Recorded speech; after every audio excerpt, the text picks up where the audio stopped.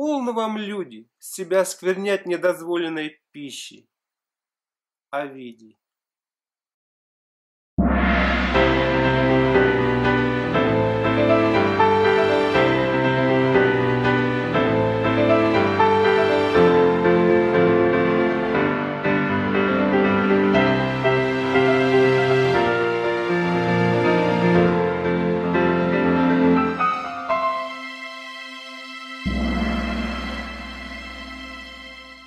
Сейчас повсеместно говорят о том, как приготовить нечто вкусное, необычное, экзотическое. Совершенно игнорируя о том, а полезно ли это будет для нашего с вами здоровья. Главное – вкусно поесть.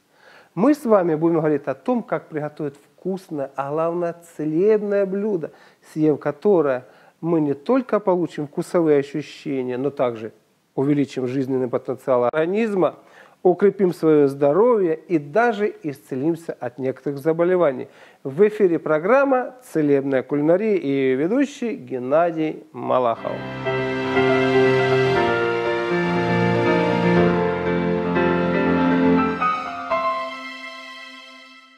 Доброго здоровья!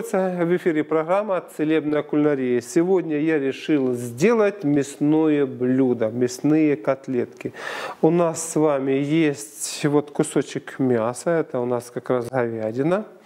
Вот, сейчас я ее помою. Но прежде чем я ее помою, естественно, надо ее и помыть, как размораживают. Вот мне э, знатоки подсказали, что размораживать мясо лучше всего, заранее выложив его ну, хотя бы сюда на тарелочку и подержал на, э, при комнатной температуре, ну, примерно часа три, а то еще больше, смотря как вы его заморозили.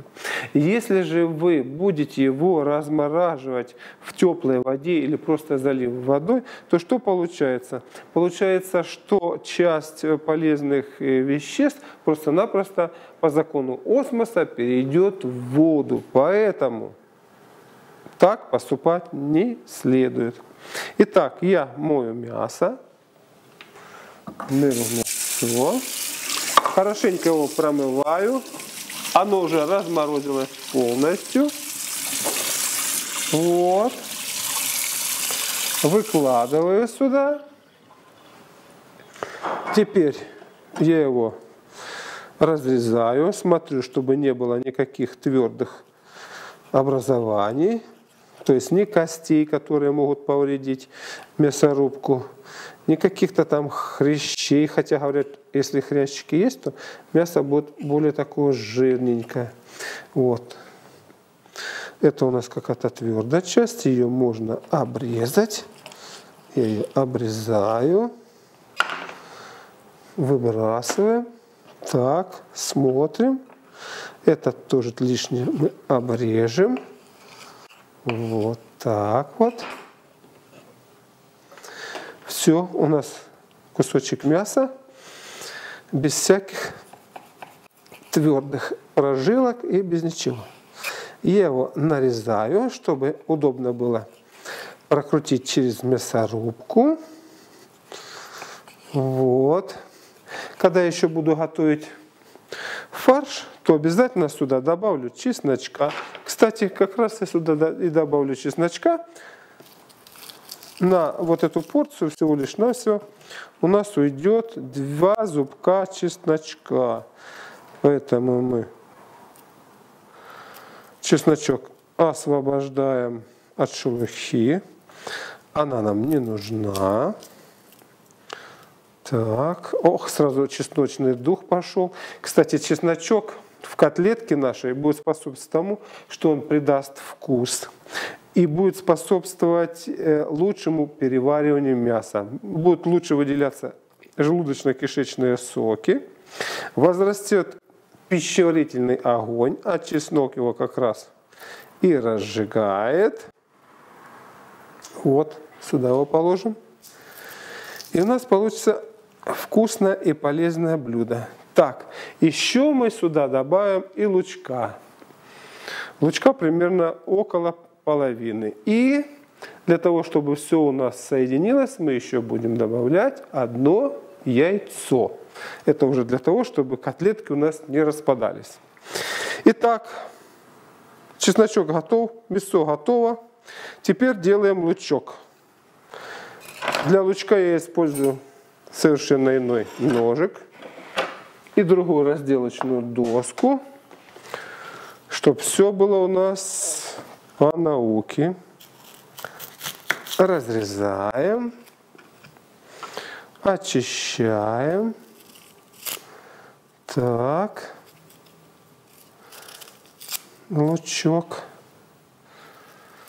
Лук также будет давать свои вещества, которые будут способствовать пищеварению, разжигать пищеварительный огонь. И, кстати, если имеются там какие-то, ну, в мясе паразиты, то жгучие свойства лука и чеснока их в какой-то мере уничтожат. А остальное все должно доделать термическая обработка. Это важно помнить чтобы мы, съев котлетку, получили только полезные ее свойства и ничего лишнего. Там нарезаю. Лучок полез он мне сразу в глаза. Берегите пальцы, когда начнете слезиться. Вот. И начнем у нас Включаем. Так. Так, так, так, так, так, так, так. Ага, вот. Включили. Берем порцию лучка. Берем мясо. Теперь лучок сюда заправляем. Теперь еще порцию мяса, еще лучка. Так, нарезаем чесночок. Вот чесночка бросаем, еще одну порцию мяса и включаем. Вперед!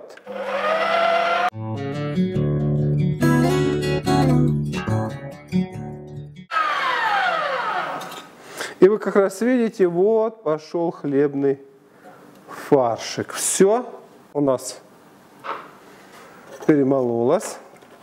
Теперь мы сюда добавляем яйцо. Лишнее убираем. Берем яичечко.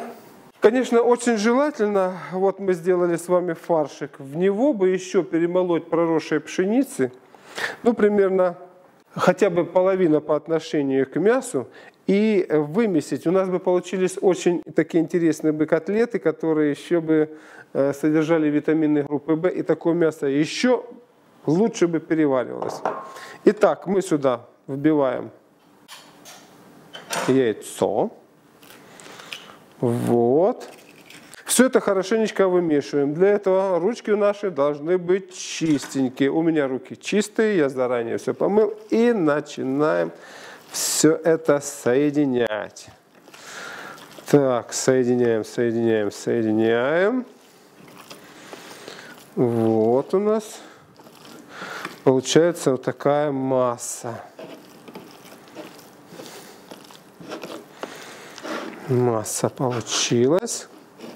Для того, чтобы она была ну, не такая жидкая, как у меня, можно, естественно, добавить различные там сухарики, вот. либо, как я говорил, проросшую пшеничку. Тогда она уже будет более э, такой твердой. Но, тем не менее, с нее можно делать котлеты. Вот. И мы с вами теперь должны нагреть сковородочку. Плиточка у нас вот она. Мы сюда добавляем масло. Кстати, масло надо брать э, такое рафинированное. Почему? Потому что если она не рафинированная, вот эти все вещества начнут в сковороде гореть и образовывать канцерогенные вещества, а они нам не нужны. Поэтому для приготовления, для, э, особенно для жарки, мы выбираем очищенное масло. Добавляем маслица. Вот, включаем плитку. Что касается фарша, то фарш должен иметь ну, такую консистенцию теста. Почему? Если он будет слишком жидкий, то неудобно и котлеты лепить, и он просто-напросто у нас будет, ну, котлеты не будут держать форму. Итак, у нас все это нагревается, смотрю. Вот. Мы начинаем делать котлетки. Значит, берем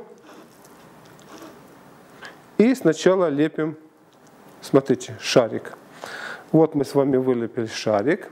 Теперь мы его просто-напросто вот так вот приплюснули. Края у нас должны быть ровненькие. Толщина котлетки нашей должна быть э, не более полутора сантиметров, а лучше всего сантиметр. Почему? Да для того, чтобы все у нас пропеклось, как снаружи, так и внутри. И аккуратненько выкладываем нашу котлетку. Берем опять Формируем шарик. Смотрите, вот у нас шарик получился. Теперь его разравниваем. Смотрите, края у нас ровненькие. И аккуратненько выкладываем. Вот. И так поступаем дальше. Шарик. Делаем котлетку, формируем. Аккуратненько у нас как раз края. И выкладываем на сковородочку. Вот. И осталось еще у нас на одну котлетку. Старайтесь, чтобы шарики у вас были одинаковые. Поэтому большую не надо котлету делать. Делайте ее нормально. Смотрите, шарик у нас получился нормальненьким. Приплюснули его. И на сковородочку выложили. Обязательно закрываем крышкой и поджариваем, чтобы у нас появилась корочка. Маслица закипела. И я думаю, что можно уже будет и переворачивать. Для того, чтобы правильно приготовились наши котлетки, очень важно сделать следующее, то есть тестировать процесс приготовления. Для этого мы с вами обязательно накрываем крышкой сковородку. Э, почему? Да, потому, чтобы у нас э, котлеты не были сухими, потому что если они жарятся без, без крышки, они получаются такими суховатыми. А для того, чтобы узнать, прожарились они или нет, мы с вами поднимаем крышечку. И вот так вот ножом смотрим. Ага, ткнули. В середине мяса у нас еще не, э, ну, не, не прожарилось. Итак, мы с вами теперь переворачиваем наши котлетки. Вот, можно взять две лопатки такие и аккуратненько их перевернуть. Опа! Так, Теперь мы переворачиваем вот так. Вот. Начинающие повара. Корочка у нас хорошая получилась. Так.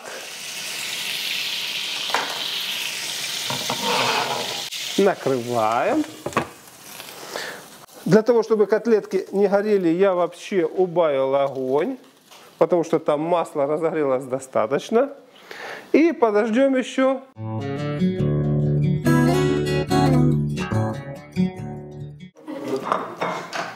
Котлетки наши приготовились и настало время пробовать. Огонь потушен. Мы берем аккуратненько одну котлетку, другую котлетку. Вот, и пробуем значит, вилочкой. Вот, смотрим.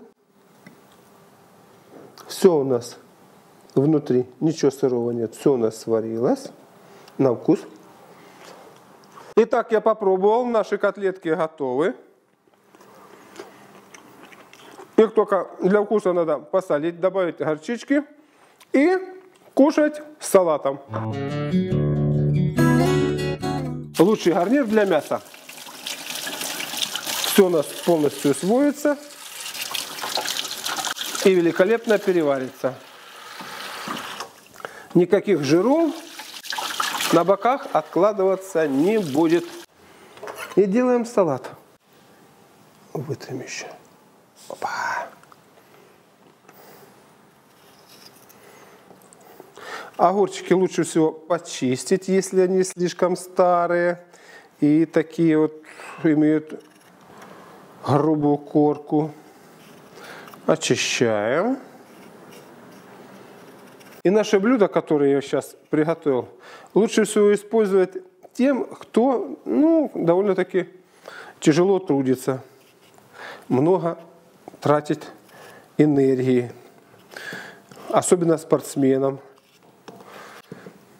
Делайте котлетки, меньше различных наполнителей, больше должно быть мяса там. Вот. А чтобы она лучше усвоилась, используем салат в качестве гарнира. И получается сытное, полезное блюдо, которое способствует кроветворению, которое будет нормально перевариваться и главное еще и выводиться. Потому что если человек употребляет только мясо, от мяса, к сожалению, бывают запоры. Чтобы этого не было, всегда мясо кушайте с овощами. Оно лучше переваривается и даст нам максимум пользы. Если вы хотите быть более стройным, для этого используйте все-таки э, говядину или э, телятину. Мясо получается не такое жирное, как от свинины. Вот, и будет э, лучше перевариваться, легче, вернее, перевариваться, и никаких осложнений будет. Если вы хотите более что-то там вкусное, особенно, знаете, в холодное время года, более такое питательное, жирное, то используйте тогда свинину. Свинина, она более нежная, но там гораздо больше жира, нежели в говядине. И имеется риск поправиться. Поэтому выбирайте мясо. Можно, конечно, еще использовать и баранину, котлетки из баранины. Можно еще использовать котлетки и куриные. Тоже очень интересная вещь. Вот, но это уже, так сказать, диетическое мясо. И, кстати, вот наши котлетки будут очень способствовать кроветворению еще к тому же. Поэтому можно использовать как кроветворное средство, дающее силу и здоровье нам. Теперь немножечко лучка сюда. Много нам лука не надо, но все-таки так. Все это мы вылаживаем. Теперь добавляем масло. Масло добавляйте немножечко. Вот. Солите морской солью. И у нас все будет готово. Морская соль у нас, вот она.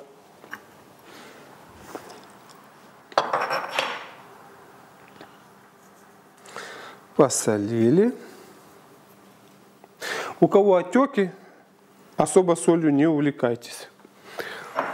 Теперь все это мы с вами перемешиваем. Вот. И у нас получается котлетки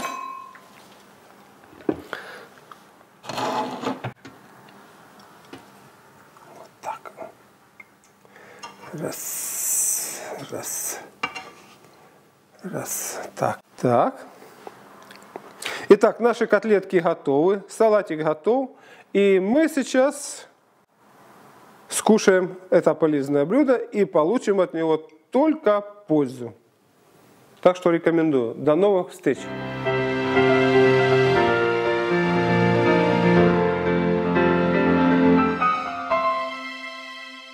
Все программы на ТВ рассказывают о вкусной и бесполезной, а то и вредной для здоровья кулинарии. Только наша программа рассказывает о полезных свойствах продуктов и целебной кухне. Пишите нам, присылайте свои рецепты, рассказывайте о том, как они вам помогли исцелиться. И помните заповедь древних врачевателей. Пусть лекарством будет пища, а пища лекарством. С вами была Целебная кулинария. До новых встреч!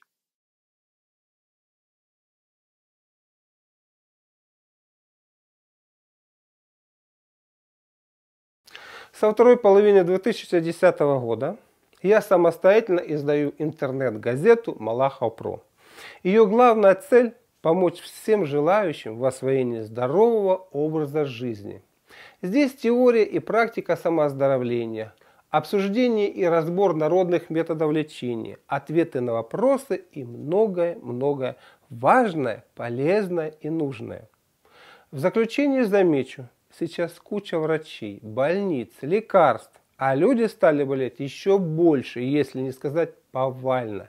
И все из-за того, что ничего не хотят знать о собственном здоровье, как его сохранять с помощью простых, общедоступных методов. А в интернет-газете Малахов Про об этом рассказываю я простым и понятным языком. Доброго вам здоровья! Я работаю на двух сайтах. Генеша Малахов.ру и Малахов Про. Последний сайт Малахов Про полностью мой. Здесь имеется библиотека моих книг. Выставлено более тысячи статей для бесплатного чтения по ведению здорового образа жизни.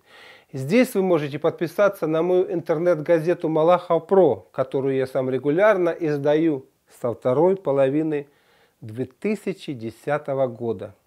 Здесь же находится и видео, моих лекций, передачи целебной кулинарии. Все это для вас. Заходите, смотрите, пользуйтесь.